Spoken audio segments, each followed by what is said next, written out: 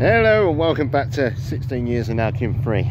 Right, um, well you find me on Damsel Lane it's called and uh, poor old William's a damsel in distress. I was coming down the road and uh, it sounded like, oh I know. You have arrived. I know.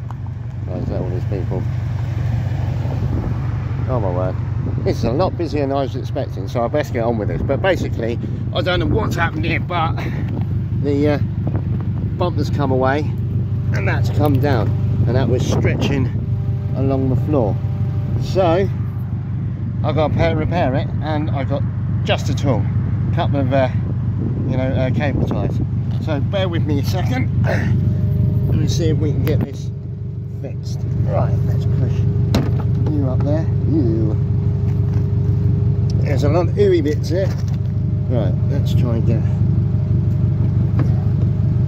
you on there. Right, is there anywhere tie through? I think so. So where was cable tie before? Oh right, that's the reason it went cable tie. Right. Fair enough. There's a big hole there, so I'm not too sure how. Well, hopefully if I push that in, it'll stay like that. And then if cable tie up through there, and then through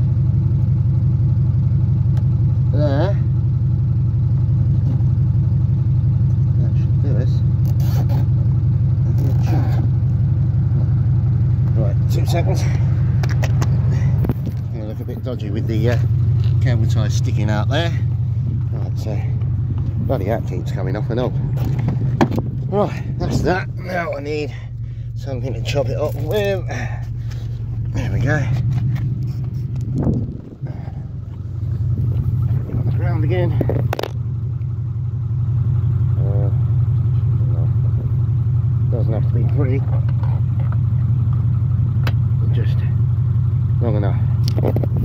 There we go. Williams repaired. Plus, the next uh, part of my trip is meant to be down there. So I don't know how far down there the road's shut. Well, there's only one way to find out. Just to drive down there. Because sometimes these roads get... Cool, Bennett, I've been looking everywhere. Put the seat... Oh, bolt upright.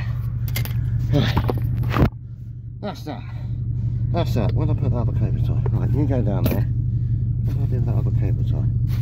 Oh, you silly Billy. Oh, there it is. That's cool. Put that somewhere accessible just in case I need it in a bit. Right. Considering that's only the second time I've had to pull over and sort something out on William in over 11 and a half months, I can't really complain. Anyway, I hope everybody else is having a good day. Well, there's lots of vans and traffic going down there. Yeah, I hope everybody's having a good day. They had a brilliant uh, Easter weekend. Too many chocolates and now feeling it. I'm feeling it from the older uh, fry-ups. That's me, I must admit. Even though I haven't had one this morning.